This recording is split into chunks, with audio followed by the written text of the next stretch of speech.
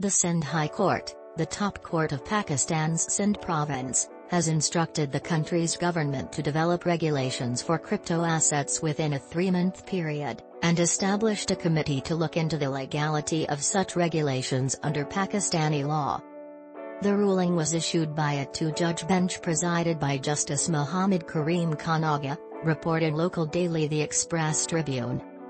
The court deliberated on a petition filed to challenge the 2018 statement by the State Bank of Pakistan, SBP, the country's central bank, in which it announced crypto assets were not a legal tender in Pakistan, a country with over 220 million people. Virtual currencies slash coins slash tokens, are neither re.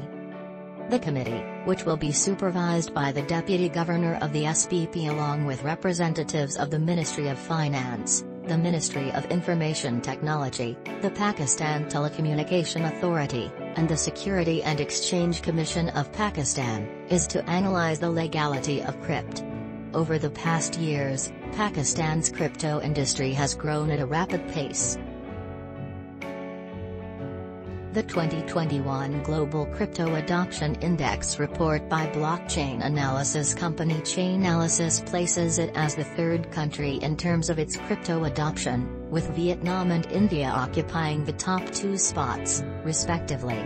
With a population of about 48 million people, according to a 2017 census, Sindh is Pakistan's second most populated province, preceded solely by Punjab.